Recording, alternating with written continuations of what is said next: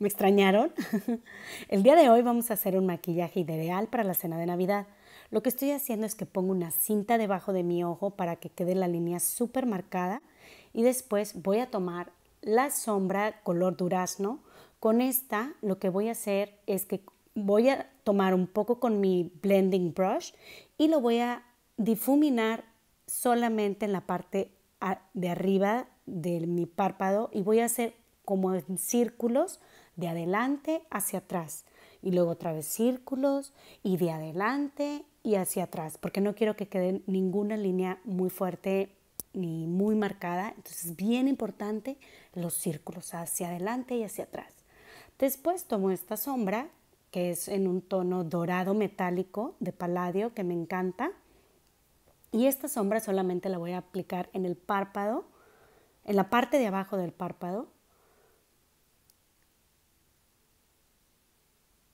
Quiero, esta solamente es la sombra base donde voy a aplicar mi escarcha, que estoy bien emocionada por aplicar escarcha. Después voy a tomar una brocha que es como en forma de cono y voy a poner el tono más oscurito de la paleta que ya mostré al principio y solamente quiero, em, lo que quiero hacer con esta sombra es solamente definir muy bien mi párpado, pero también no quiero que quede muy marcado, así que lo voy a blendear lo más que se pueda para que no se noten líneas muy fuertes, que se vean las líneas suaves. Aplico un poquito más de esa sombra color duraznito para blendear todas las las líneas que quedaron muy marcadas y después pues continúo blendeando. Ahora tomo ¡Ah! Se me salió todo el resistol, el pegamento, perdón. Bueno, después voy a agarrar un poco, lo aplico sobre todo mi párpado que no quede ni un solo espacio. Quiero aplicarlo muy bien sobre todo mi párpado. Después agarro los brillitos, que aquí la verdad no aplica ese dicho de entre menos es más. Yo creo que aquí entre más es mejor. Y cuando se trata de brillitos o de escarchas, no sé cuándo parar. Pero yo creo que es algo, es algo bueno porque luce mucho, se ve muy bonito, al menos para mí. Yo pienso que se ve muy hermoso. Aquí, como se pueden dar cuenta, brilla muy bonito, pero no sé por qué siento que le falta más. Y pues vamos a ponerle más. ¿Quién dijo que no? Hasta que parezca esfera de Navidad voy a estar feliz. Después un minuto de silencio porque esta es la parte más difícil que es hacer el cat eye. Afortunadamente lo pudimos lograr. ¡Yay! Y aguas porque duele quitar esta cinta, háganlo despacio. Ahora voy a tomar otra vez esa sombra de durazno y la voy a aplicar en mi párpado inferior. Y también voy a aplicar un poquito de esta sombra que es un tono cobre metálico en la parte inferior de mi ojo.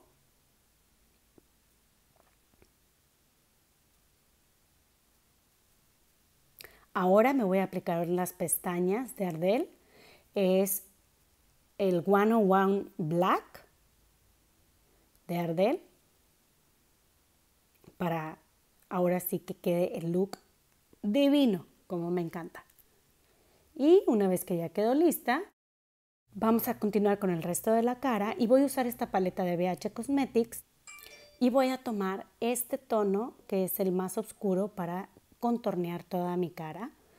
Lo voy a usar en las barbillas, en las mejillas, la frente, en la nariz. Y así vamos a tener un rostro un poco más afilado.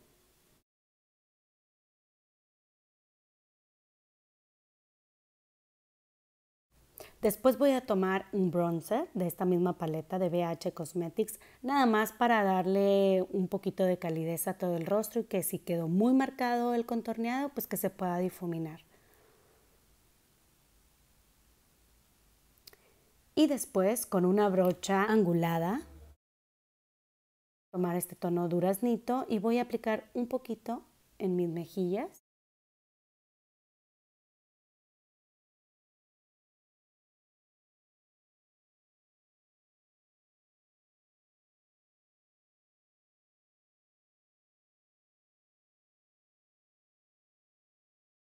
Después voy a agarrar este tono que es un poquito más rosadito y con esta brocha lo voy a aplicar solamente en las mejillas para darle un tono un poquito más cálido.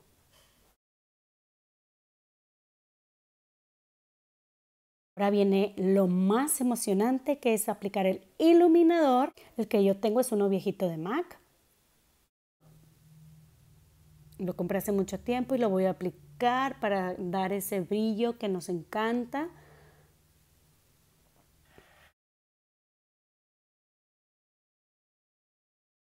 Así que ponle más, ponle más. Eso, que brille. La nariz, los labios, el puente de la nariz, muy importante. Y así es como quedamos. Así que si disfrutaste ver este video, no te olvides de suscribirte a mi canal y sobre todo de regalarme un like. Nos vemos hasta la próxima semana. Bye.